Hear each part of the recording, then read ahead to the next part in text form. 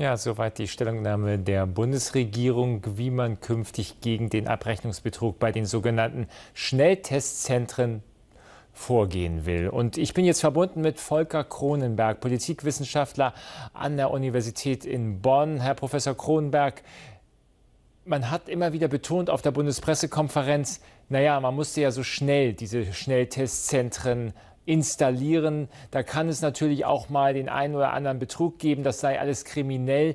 Wie sehen Sie das und vor allen Dingen, welche Wirkung hat das für die Bürger bei der Pandemiebekämpfung? Ist das etwas, was wir in Kauf nehmen müssen oder hat man einfach nicht sauber gearbeitet?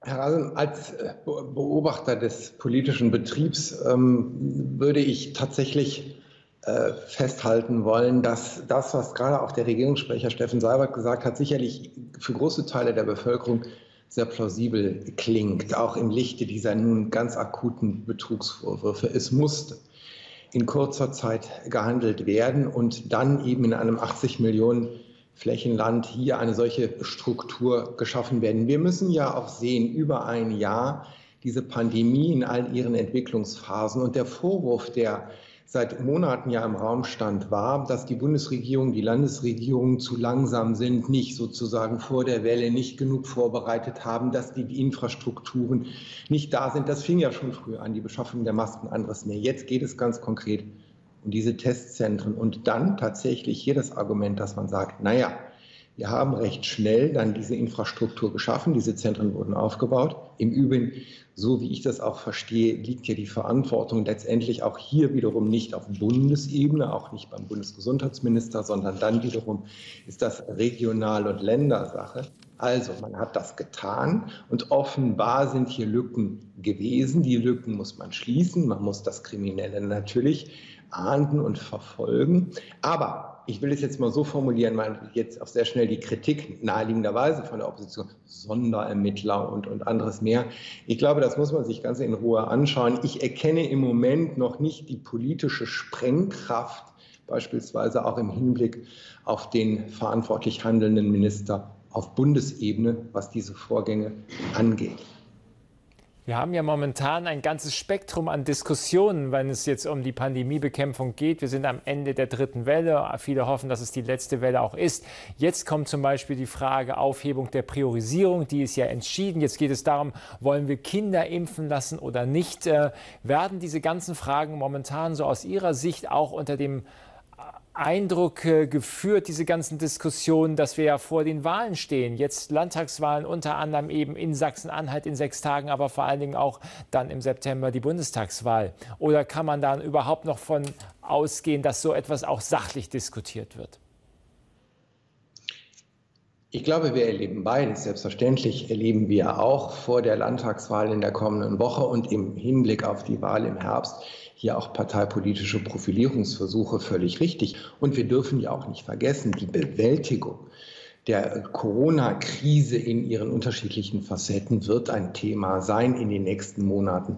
Keine Frage. Aber wir müssen eben auch sehen, und Sie haben ja gerade selbst angedeutet, wie sich die Impfgeschwindigkeit entwickelt. Wir sind im Sommer, die Inzidenzen sinken. Wir sind jetzt in einer, wir sind in einer Phase, so beobachte ich das, der Entspannung ein Stück weit, sodass man auch ein, wiederum zuversichtlich nach vorne blickt. Und ganz spannend ist ja, wenn man sich auch die Themen anschaut, im Hinblick auf Sachsen-Anhalt, was, was bewegt die Wählerinnen und Wähler, dann ist es natürlich auch noch das Corona-Thema, aber es sind auch andere Themen, Wirtschaft, Bildung und mehr. Und worauf ich hinaus will, ist, wenn dann Ende September die Bundestagswahl stattfinden wird, Stand jetzt über den Sommer, wird das Thema Corona in der akuten Dringlichkeit wieder auch ein Stück weit in den Hintergrund treten. Es werden andere Themen nach vorne rücken. Und dann wird es tatsächlich um die großen Linien gehen. Wer hat denn tatsächlich dann in Krisenzeiten gutes Management bewiesen und wer nicht? Welches Bundesland lag vorne und wer nicht? Wer überhaupt musste denn handeln? Und der wird sich dann natürlich auch darauf zurückziehen, wo gehobelt wird. Da fallen Späne. Wir mussten in einer akuten Notsituation eben etwas tun. Andere wussten es immer nur besser. Das sind dann sicherlich so Interpretationsverläufe, die wir beobachten können. Sie haben es gerade eben schon angesprochen. Es werden andere Themen in den Vordergrund rücken im Verlaufe des Sommers. Wir haben ja sehr spannende Wahlen jetzt natürlich in Sachsen-Anhalt, dann in Mecklenburg-Vorpommern, ähm, in Berlin und in Thüringen, also vor allen Dingen in den ostdeutschen Bundesländern. Es gab jetzt schon am Wochenende den Ostkonvent der SPD. Die Parteien bemühen sich um den Osten. Was sind denn da Ihrer Meinung nach die Themen, mit denen man die Wähler dort erreichen kann?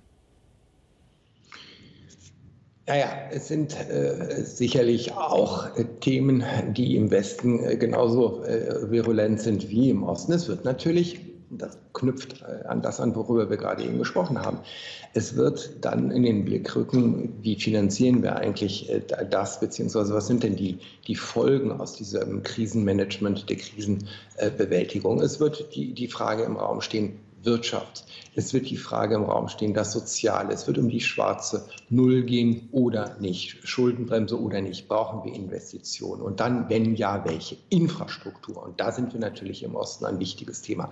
Infrastruktur, äh, schnelles Netz, Internet, aber eben sicherlich auch die Frage nach Straßen. Dann das ganz wichtige Thema, und das spielt jetzt in Sachsen-Anhalt auch eine wichtige Rolle für die Menschen vor Ort ist das Thema äh, Bildung. Also ich will darauf hinaus, äh, dass man sicherlich auch äh, ja, kulturelle Themen in den Blick nehmen wird. Das erleben wir ja jetzt sicherlich auch in den Wahlkämpfen. Die AfD versucht das stark zu machen. Die CDU um Rainer Haseloff versucht sicherlich auch um das Thema nun Gendersprache, also Übertreibung, was das angeht oder nicht, ein Stück weit zu fokussieren. Aber das scheinen mir nicht die wirklich zentralen Themen zu sein, sondern zentral wird tatsächlich sein, ja, ja, nach der Krise, was sind jetzt die Konsequenzen, was, was werden die Menschen spüren? Und, also ganz wichtig sicherlich auch, das Thema habe ich noch nicht angesprochen, ist natürlich die Energiewende und Klimaschutz, Energiewende. Das treibt die Menschen im Osten genauso um wie im Westen.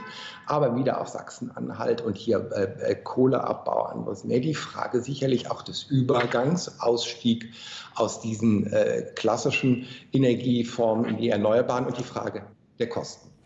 Dankeschön erstmal für diese Einschätzung.